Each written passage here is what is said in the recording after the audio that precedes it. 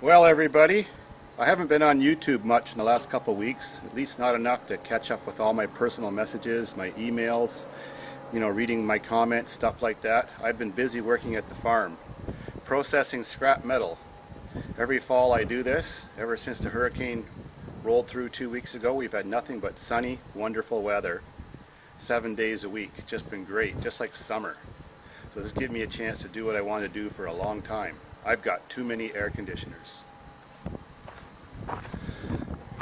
We even got a fresh car, a Pontiac Grand Prix, you know, 1993 model. It's already been a bit farm, but still working great. Now to get back to my dilemma.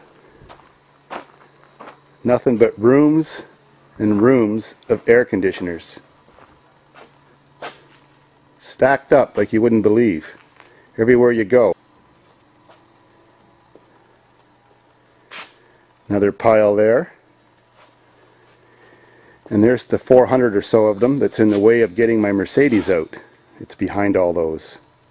So, I've been chopping up air conditioners and recycling Freon. Look at that mountain of radiators. Look at those mountains of copper tubes. That radiator pile alone weighs about 3,500 pounds, and at $1.48 a pound, that's one hell of a chunk of cash. All those little tubes I cut out of the air conditioners when I scrapped them, well, that's 400 pounds at $2.84 a pound. And every day I've been hauling in about 1,750 pounds of air conditioner bodies with my Aries turbo wagon and my little trailer behind. That comes out to about $100 a load per day. So now you understand what I've been doing.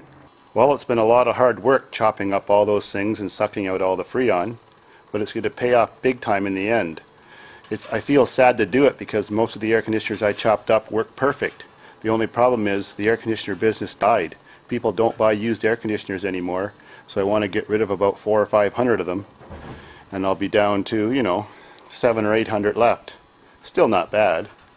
Then I'll have some more room to do some winter projects and work inside my building. Right now I only had an open path in the middle for the last few years.